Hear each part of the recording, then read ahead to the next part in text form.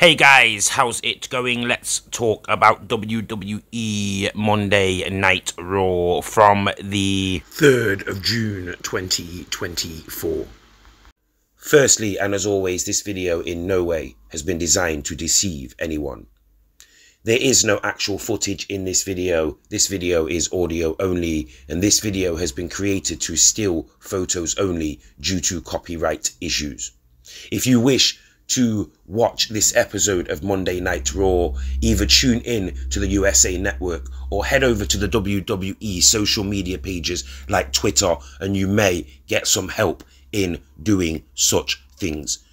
This video has also been created to prevent the freeloading of professional wrestling. If you wish to watch, then you should pay to watch.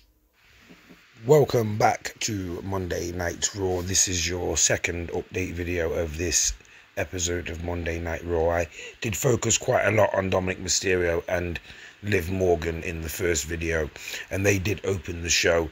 We also got a attack from um, Ludwig Kaiser on Sheamus during Sheamus's entrance. Sheamus caught a promo which was completely unscripted during the uh, opening part of the episode.